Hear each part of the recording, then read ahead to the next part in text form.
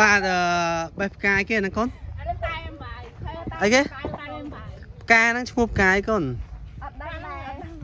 តែនឹងគេធ្វើតែមិនបាយតែមេបើហ្នឹងមិនឃើញពូឃើញតែបេះហឹមអានឹងយកទៅហាស្ងោយកហានមួយថ្ងៃហាពីរថ្ងៃហើយយកធ្វើបន្ទាប់មកធ្វើមិនទៀនទៅមកដាំទឹកឲ្យពុះហើយធ្វើមិនទៀនហើយដាក់កាំងចូលដល់ផ្កាចូលហើយដាក់អីទៀតដាក់ចេញពោឲ្យហើយចេញពោហ្នឹងហើយស្រង់ហើយចាក់អាកាហ្នឹងញ៉ាំអត់ហើយ ដាក់ដាក់គោដាក់ដល់គោចាហើយដាក់ទឹកកកហើយដាក់តកកចាឆ្ងាញ់អត់ឆ្ងាញ់ឆ្ងាញ់មែនតើហ្មងចាឆ្ងាញ់ពីគ្រូភ្លក់នឹងយកឲ្យហឹមថាអញ្ចឹងបងមិនយកឲ្យគ្រូទេយកឲ្យទៅហាឲ្យដល់លោកគ្រូឥឡូវភ្លក់ចាំមើល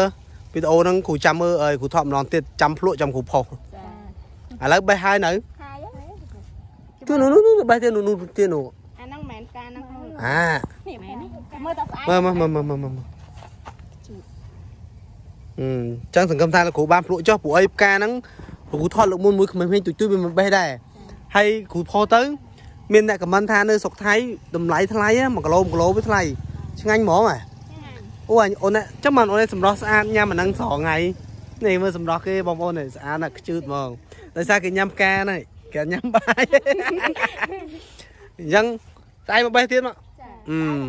អាលាស់ទៀតមើលសុំមើលដើមវាម្ដងទៀតបេះមើល